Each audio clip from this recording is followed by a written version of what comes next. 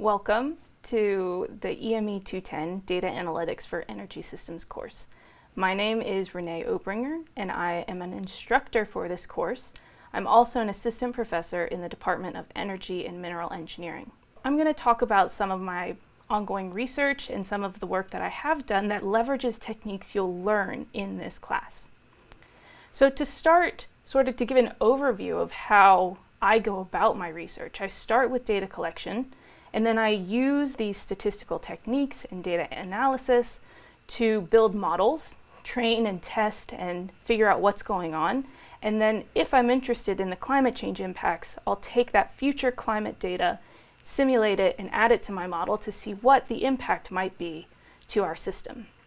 In this class, however, you'll be focusing on these first two steps, where you'll collect the data and then you'll implement some statistical analysis to make an inference or answer a question.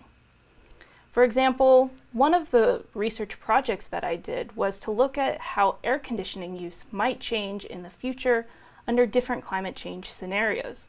Here I'm showing these bar plots across the entire US, and they represent the average increase in air conditioning use for a household in a given state. If we look at Pennsylvania, we can see that after one and a half degrees of warming above pre-industrial levels, the average household could expect to see a 7% increase in their average usage of air conditioning across the summer, whereas after two degrees of warming, that jumps up to 10.2% increase. And so this is quite a bit if you think about how much you use, how your air conditioning or electricity bill increases in the summer Imagine it getting even higher because it's so much warmer out. We're running those systems for longer and longer. And so this is an example of using a complex tree-based method to do a prediction and then later implement climate change data to see how that might change in the future. And you'll learn the introduction to these tree-based methods towards the end of this course. A second analysis that I've done has focused, instead of the entire US, zooming in to a few select cities, particularly in the Midwest.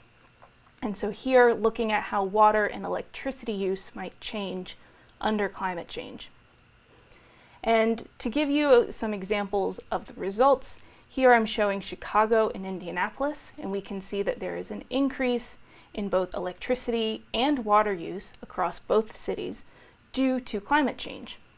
And to demonstrate this increase, I've once again used these bar plots, which you'll learn during the visualization portion of this lecture.